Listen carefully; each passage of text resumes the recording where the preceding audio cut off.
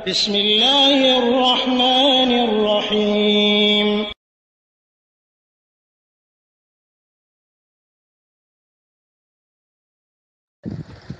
السلام عليكم ورحمة الله وبركاته الحمد لله وحده والصلاة والسلام على من لا نبي بعده وعلى آله وصحبه ومن والاه সম্মানিত ভাই বেলাল চৌধুরী ইউকে থেকে যে বিষয়টি জানতে চেয়েছেন যে সামনে ঈদ উল আধা আসতেছে।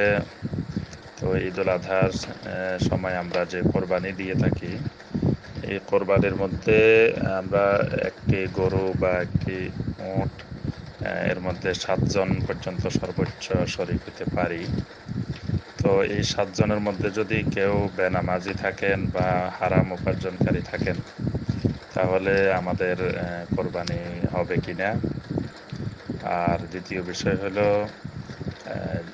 তাদেরকে আমরা যদি না হয়, তাহলে কীভাবে আমরা অ্যাভয়েড করব? এই বিষয়ে জানতে চাইছেন জি ভাই, আলহামদুলিল্লাহ। প্রথম যে বিষয়টি বলেছেন যে ঈদুল আজহার মধ্যে যে কোরবানি করি, এই কোরবানিতে সাতজন পর্যন্ত আমরা শরিক হতে পারি। এটি সহি হাদিস দ্বারা প্রমাণিত রয়েছে। মুকিম অবস্থায়ও পারি, সফর অবস্থায়ও পারি। তবে এই সাতজনের মধ্যে যদি কেউ সলাদ পরিত্যাগকারী থাকেন অথবা হারাম উপার্জনকারী থাকেন, তাহলে তাদের সাথে কোরবানি করা যাবে না। কারণ শেখ সালে আল ফাউজান হাফেজাহুল্লাহ তিনি ফতোয়া দিয়েছেন যারা সলাৎ পরিত্যাগকারী তাদের কোনো আমলে সলেহ কোনো কিছুই আল্লাহ রব্বুল্লাহ আলমিনের নিকটে কবুল হয় না।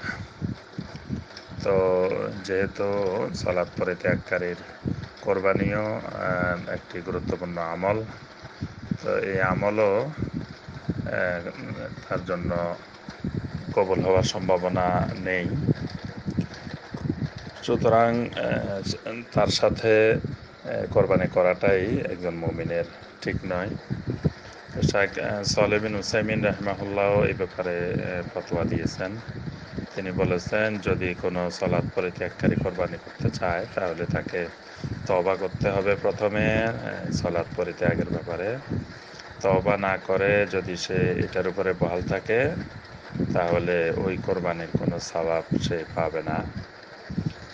তো এজন্য আমরা যারা সাতজনের শরিক হব, তারা দেখতে হবে যে আমাদের এই সাতজনের মধ্যে কেউ সলাৎ পরিত্যাগকারী, বেনামাজি আছেন কিনা, অথবা হারাম উপার্জনকারী আছেন কিনা। হারাম উপার্জনের কোনো কিছুই আল্লাহ পাক কবুল করেন না। নবী স্পষ্ট বলছেন, ইন্নাল্লাহ তাআলা তাইয়্যিবুন লা ইয়াকবালু ইল্লা তাইয়্যিবা হালাল উপার্জন ছাড়া আল্লাহ সুবহানাহু ওয়া তাআলা কোনো ইবাদত কবুল করেন না।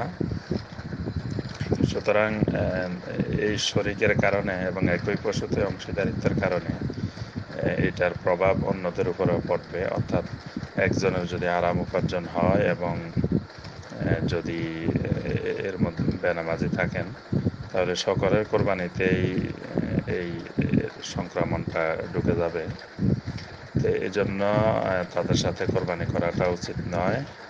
পরিত্যাগ করতে হবে। তো পরিত্যাগটা কীভাবে করবেন, সেটি হিকমার সাথে সুন্দরভাবে যে ভাই এবছর আমি আপনার সাথে করতে পারছি না, বা যে কোনো একটা সুন্দরভাবে বুঝিয়ে তাদেরকে বাদ দিয়ে যারা নামাজি এবং হালাল উপার্জনকারী তারা করতে হবে। وبالله التوفيق وصلى الله على نبينا محمد وآله وصحبه وسلم. والسلام عليكم ورحمة الله وبركاته.